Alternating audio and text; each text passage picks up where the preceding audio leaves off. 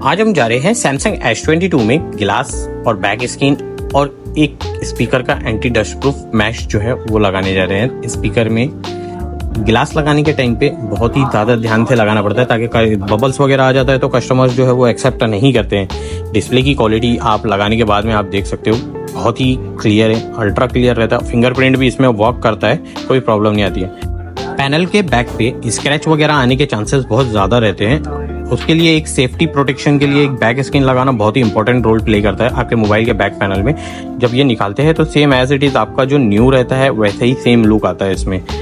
ये स्किन की क्वालिटी इतनी प्रीमियम है कि ये निकलने के टाइम पे ग्लू भी नहीं छोड़ता। लगने के बाद का फाइनल लुक आप देखो, आपको एकदम सेम इफ़ेक्ट रहेगा। कोई भी मोबाइल में चेंजेस नहीं दिखेगा कोई भी स्किन लगी हुई है, ऐसा कुछ भी नहीं दिखेगा। डिस्प्ले की क्वालिटी में भी आपको कोई भी इफ़ेक्ट नहीं दिखेगा। वीडियो अच्छा लगा हो तो लाइक करके चैनल को सब्सक्राइब करें।